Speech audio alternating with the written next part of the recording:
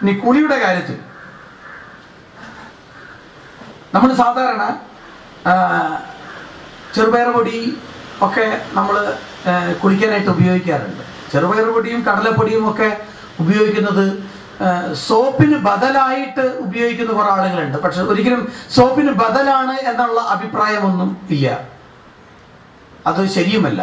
കാരണം വെച്ചാൽ സോപ്പിന് ഉള്ള അഴുക്ക് കളയാനുള്ള കപ്പാസിറ്റി ഈ പറയുന്ന പൊടികൾക്ക് ഉള്ളതായിട്ട് എവിടെയും റിപ്പോർട്ട് ചെയ്യപ്പെട്ടിട്ടില്ല. അതുകൊണ്ട് അഴുക്ക് പോകണമെങ്കിൽ നല്ലത് സോപ്പ് തന്നെയാണ്. തർക്കമൊന്നുമില്ല. പക്ഷേ സോപ്പിന്റെ ഉപയോഗം പരിമിതപ്പെടുത്തുക. ഇവിടെ മഴക്കാലത്ത് നിങ്ങൾക്ക് ഈ ചെറുപയർ പൊടി കടലപ്പൊടി തുടങ്ങിയിട്ടുള്ള പൊടികളുടെ ഉപയോഗം ശരീരത്തിൽ ഏറ്റവും നല്ലതാണ്.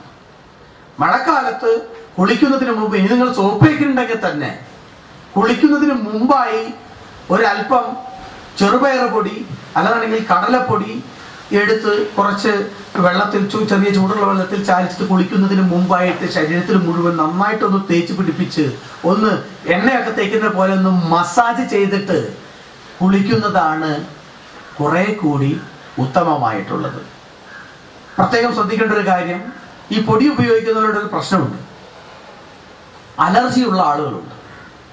അലർജിയുള്ള ആളുകൾ പ്രത്യേകിച്ച് പൊടിയോട് അലർജിയുള്ള ആളുകളൊക്കെ ഈ പൊടി ഉപയോഗിച്ചിട്ട് ആയുർവേദ പൊടിയാണല്ലോ എന്ന് വിചാരിച്ച് വളരെ വിശ്വാസത്തോട് കൂടി എടുത്ത് ഉപയോഗിക്കുകയും അവസാനം ചൊറിഞ്ഞടിച്ച് വരുന്ന സീൻ ഇഷ്ടംപോലെ കാണാറുണ്ട്.